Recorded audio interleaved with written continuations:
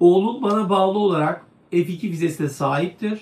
Üniversiteye devam edebilmesi için F1 vizesine müracaat ettik. Aradan 6 ay geçmesine rağmen herhangi bir cevap alamadık. Sorum şu, bu gecikme normal midir? Bu durumda Amerika dışına çıkmak tekrar girişte sorun yaratabilir mi diye takipçimiz soruyor. Şimdi sizin bu durumda bahsettiğiniz gibi oğlunuz Amerika'da bulunuyor ve F2 vizesi var. F1 vizesine başvuru yapmış durumda ve bunun cevabını 6 aydır alamamış durumda. Bu öncelikle normal midir? Evet bu normal.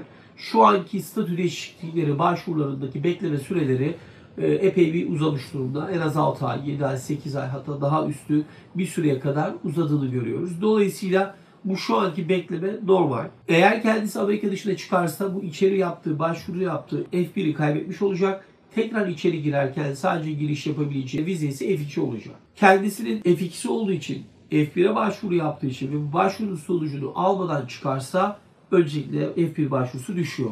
Ve Amerika'ya tekrar girerken de vizesi yoksa F1 için F2 olan vizesiyle ancak giriyor olabilecek. Dolayısıyla şu anki durumda bu sonucu beklemesi daha yerinde olacaktır.